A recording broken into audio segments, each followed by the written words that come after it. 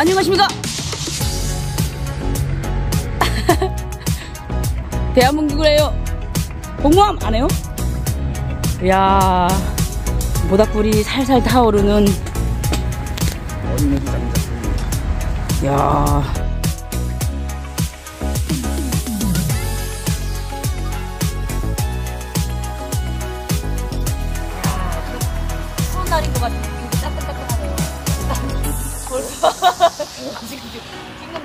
벌써 이렇게 얼어 있구나. 왜 이 조그만 오늘은- 카메라는 언누리 장작구에 왔습니다. 자 들으셨죠? 언누리 네 언누리 못지장 뺏어 가나요? 그 정말 조심하겠습니다. 인사를 깍듯하게 해야 되겠죠? 자 인사 인사 형부 자 시청자 여러분 안녕하십니까? 개성이 팡팡 넘쳐나는 여러분들의 엔더피 개성 아낙네입니다. 예. 맨날 영상은 가득가득 찍는데 아 이게 편집자가 없어가지고 이 제 손가락이 미쳐 남아 돌아가지 못하고 있습니다. 자 이번 시간에는 제가 아주 특별한 분을 한번 모셔봤는데요. 세상에 둘도 없는 제 채널에는 남성분들을 역대적으로 이제 좀 나오겠다는 동무들이 많지만 또 이렇게 중년의 꽃미남. 예, 조선인민군 무슨 사람인가요? 무슨 사람이요? 아 국경경비대 아 조선인민군 국경경비대의 중위 중이셨습니까? 아 예, 아무튼 자 자기 소개를 네 우리 아무튼 형보 씨를 모셔왔습니다. 네 형보 씨가 저를 데리고 여기 왔는데 너무 멋있어요 일단. 근데 밥 먹는데 여기 땡주를 또 기다려야 돼요. 근데 참지 못하겠잖아요. 사람들 절로 다 보내고 일단 왔는데요. 자기 소개 깔끔하게 한번 부탁드려요. 속에 아 빨리 하시라요 좋게만 할 때. 와 정말 오직입니까 자꾸. 아침 자 그럼 그 그럼 아주 어, 좋은 문제만 한번 좀 물어보자. 지금. 남편이니까 좋습니까? 좋지 좋지. 얼마큼 됐나? 좋죠. 아 괜찮아요. 뭐 아신분은 평상시대로 해요. 어. 뭐 이제 뭐 고상한 척 잡고 하려입니까? 좋죠. 시민들한테 말이야. 어떻게 좋아요?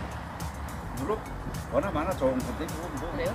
응당한 걸 물어보고 자, 군, 군 생활을 몇 년 하셨죠? 북한에서? 양심년 어, 양심년. 양심년은 또 뭐야? 미치고 한장을 하겠다. 양심년이 뭔지 알아? 양심이란 20년 20년. 그 왜 양심년이라고 그래요? 아, 중국을 끼고 있었으니까, 어, 량바이, 량치안 하던 그렇지. 그런 양심. 아, 그것과 또 연관이 되네요. 남한 군인이 어떻다고 배웠습니까? 이제 막 정신교육 이런 것도 주잖아요. 막 남조선 계리군을 남성, 와보니까 진짜 남성 계래군입니까? 남조선 계리군을 맞왜 계래군이에요? 오잭입니까? 응? 우리 북한 군보다 너무 순해. 아직까지도 우리 북한군이라네. 엄마 혈압친다 야 진짜. 너무 순해. 너무 순하다고? 군산 군보다. 야 공산군보다가 아니고 실제로 이 우통 빡 까고 이 못 봐서 그래. 아, 군밥 같지. 자 이제부터 보여줍시다. 어 우리의 저 우리 형부 씨를 모셔다가 국방부 뭐 합니까? 이제 군, 군, 군복무 안 한 지는 좀몇년 된 거예요? 안 한지 네. 뭐 언제 군복 벗은지도 생각 안 날 만큼 까마득히 먼 옛날이랬구나. 2005년도 2005년도면 뭐 지금 와유 20년 거의 되어가네요.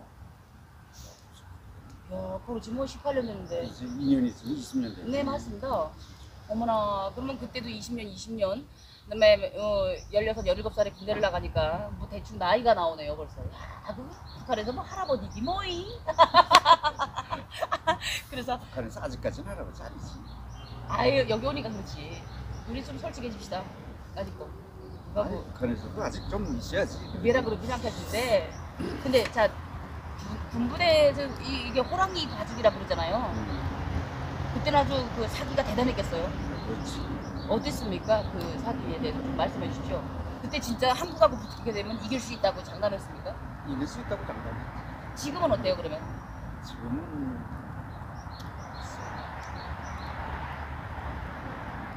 이길 어, 누구네가 이길 것 같아요? 북한군하고 저희 하게 되면 한국군이 이기지. 그래도 한국군이 이기죠. 아니 근데 북한, 북한에서 있을 때는 왜 근데 북한군을 이긴다고 생각을 했어요? 그 이유가 뭔 것 같아요?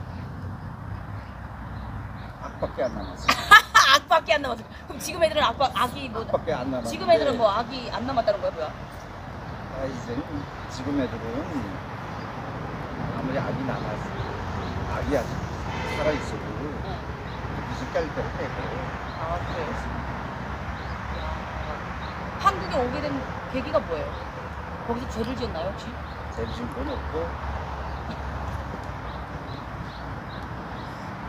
고향에 가고 싶어요. 고향이 어디셨는데요?